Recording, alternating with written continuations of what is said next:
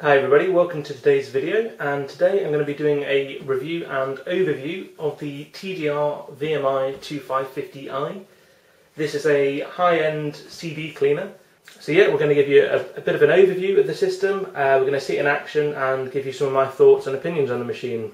First things first, this is not just for your everyday uh, person who has one or two discs that they need cleaning occasionally, be it a CD or a game. For the purpose of this video, probably going to refer to them as games from now on because uh, that's what I use this for. I use it for cleaning all my games for my uh, my eBay gaming business. Uh, if you've got one or two things to clean, do not buy one of these. It's uh, it's quite an extravagant purchase at the moment. Uh, well, I bought this about three four months ago, and this was six hundred pounds plus VAT. So this cost me around seven hundred and twenty pounds. If you've got one or two discs that need cleaning, you can take them to places such as Blockbuster or GameStation generally they'll charge you around £3 per disc. Um, they don't necessarily use this machine, they can often use similar machines like the buffing machine or the, uh, the Disc Go Devil. Um, again, they're all by the same company, TDR. I'll pop a link to their website below. And um, yeah, so this is for somebody who's cleaning quite a lot of discs. Um, they say this can clean up to 50 a day. Uh, I have cleaned more, it doesn't seem to cut off or anything like that if you're using cleaning any more than that. It has two settings, one minute and a two minute setting, and it also has a cleaning setting for actually cleaning the machine. But uh, yeah, let's have a bit of a look at it. So what you get with this machine is when this comes in the post, you'll get the big box that it all came in. Uh, it's important that you keep that because should you need to send it back for um, it being faulty or for refurbishment, you do need the original packaging, otherwise for some reason TDR decide to charge you. You'll also get a cleaning wheel, this is for cleaning the, the machine. Inside the machine, there will actually already be a buffing wheel installed. You also get one bottle of the, the cleaning fluid. This is meant to clean up to 250 discs um, or 250 minutes worth of cleaning. Um, this is still my first bottle. Um, I've cleaned around, well I've used the machine for nearly six, 700 minutes now. Um, and I'm still on my first bottle, so it just goes to show you, you haven't got to be too stingy with this stuff. You, you can really make it last. You get a, a power cable, you get some instructions, which we don't really need because, yeah, okay. And this is the the bit that annoys me the most about the TDR machine. Um, this is the a chip which goes in the back. Um, it plugs into the back of the machine, and this is what counts how many minutes worth of use you've used. So uh, you get 500 minutes per chip. I believe these are region locked somehow, so this will only work on a UK machine if you order this machine for the States this chip will not work on yours. I presume that's what this coloured sticker's for. I presume they, they change the colour perhaps per region. Uh, I have opened one of these up before and had a quick look and there doesn't seem to be any easy way to reset it, which is really frustrating because, like I said, I've still got plenty of fluid left. I've still got a decent buffing wheel upstairs. This is my uh, this is my new buffing wheel. But you know, say you, you have still got um, consumables left if your chips run out, you do have to order more consumables because you can't order this separately, which is really frustrating. If you order a new set of consumables, you do get a new buffing wheel, you get a new chip with 500 minutes preloaded, and you also get two bottles of the fluid. At present, you can only buy these from TDR. Uh, potentially, there will be some surface from time to time on eBay, but uh, it is mainly just TDR who you can buy them from. Looking at the machine, it does look like a machine only a mother could love. It's not particularly attractive, but it does suit a purpose. It's really, really easy to use. Um, you've got three buttons on the front. Simple, just open and close, it's just hinged. Here's a little uh, switch here which tells the machine whether the door is open or closed. This is a, a very heavy machine, just to point out. It's, uh, it's not something you want to be picking up and carrying around a lot. It has also got suction feet. Um, so I'm going to probably cut in a second because it's going to look really awkward me trying to lift this up. This is the, the side of the machine. We're going to be taking this off in a minute. These are just simple, uh, these just literally unscrew. They're spring loaded so when they, uh, they're sort of locked, so once you've unscrewed it fully, you can't take it out and, and lose it. It will stay there. So we'll do that in a second. A quick look at the back of the machine. So here's the back of the machine. Again, really simple. Here's where we put our, uh, our chip for the cleaner. So we're just going to pop that on. That's in. Here's where you plug your power supply, you've got your on off switch, and here you've got a ventilation uh, port at the back. This just pulls off, so when you need to clean it, you can take this bit of foam out, give that a bit of a hoover, uh, clean this part and clean this. We'll get to cleaning later, but it can be a little bit frustrating. So back to this side of the system, I've just unscrewed these two parts, so we're just literally just going to lift this part off. This is just the whole front door. We're going to put that on the side. You will need to do this once you first get the machine. Um, the machine actually comes with uh, some little bits of padding foam and things like that in it, you know, sort of around here uh, and here. And you do have to take the, the actual lid off to get all that foam out before you use the machine for the first time. So inside you've got a couple of different motors and bits. Um, the only bit really worth pointing out inside is this section here. This literally pulls off and it can get quite dirty. I have actually just cleaned this, uh, but it, it is, you know, it's pretty dirty already.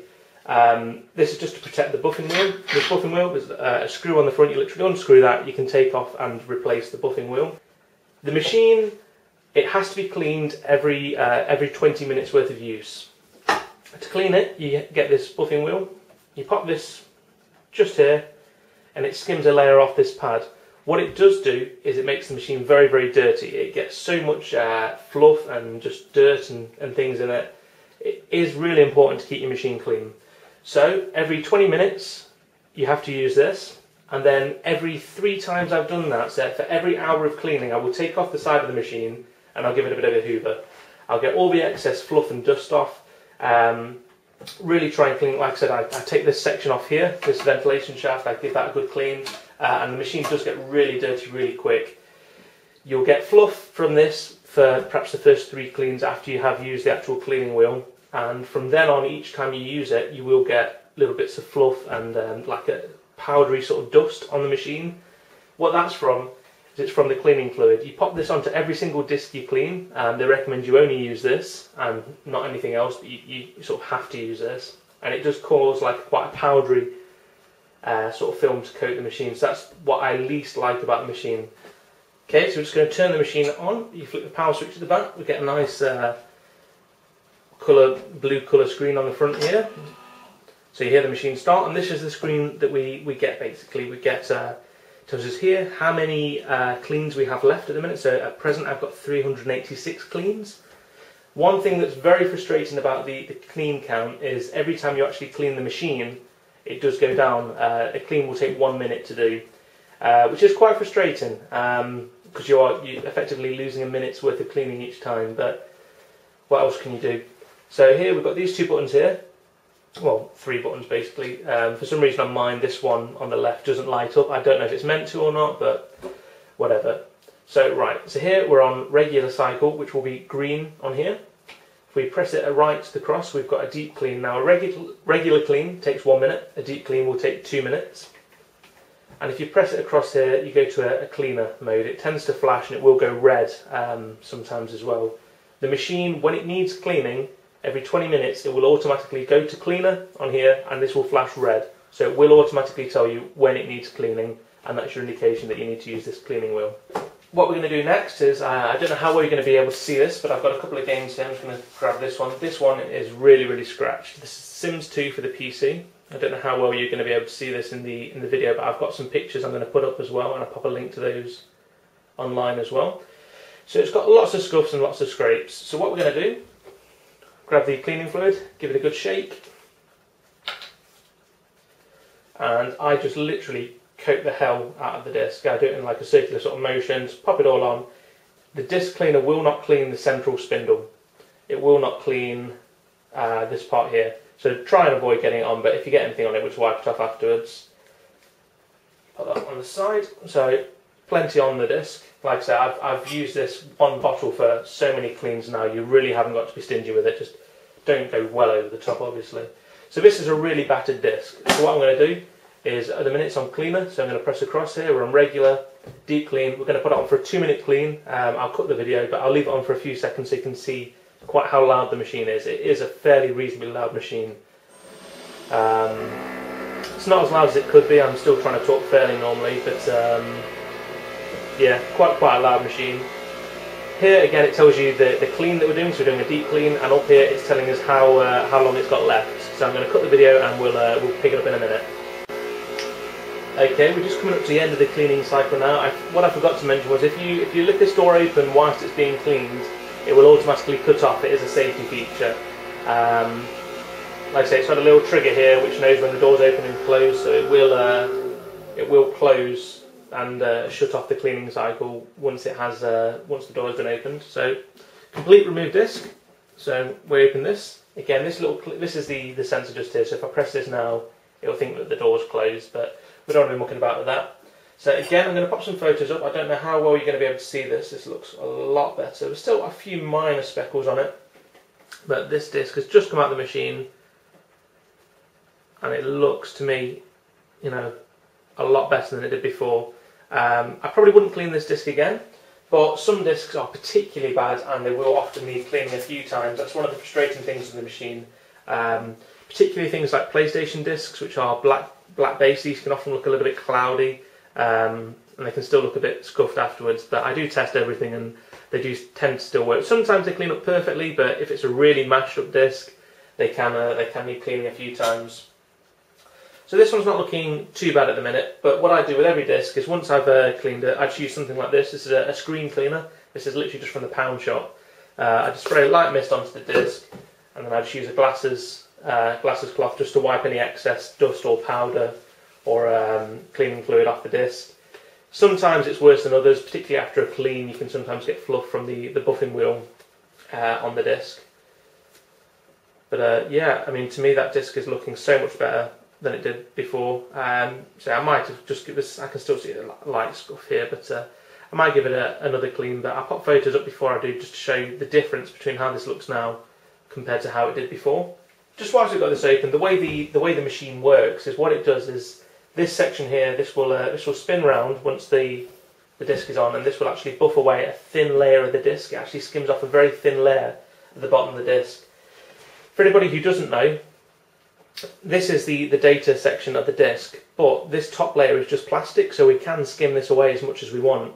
This top layer, where the, the design and the, the logo and the brand and things are, this is where the data is actually stored on the underside of this. So if I was to scratch off this top layer, it would render the disk useless. So it doesn't actually damage the disk by uh, by skimming off a thin layer of this. I suppose if you, if you did it enough times and you know buff the disk away to nothing, then it would. But uh, we're not going to do that.